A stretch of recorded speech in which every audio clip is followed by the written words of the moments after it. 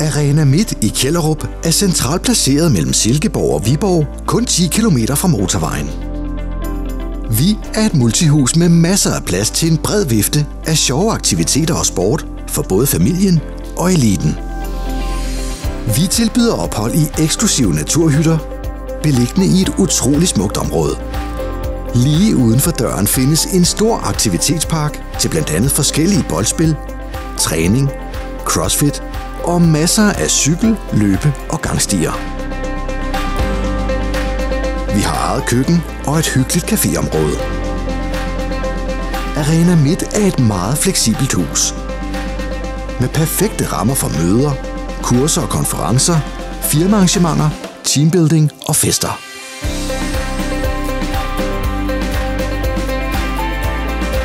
Vi kan stille om til store opvisninger og internationale sportskampe.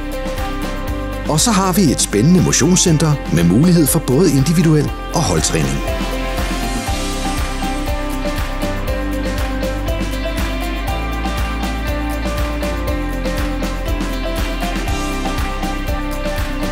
Se mere om vores aktiviteter på arenamidt.dk.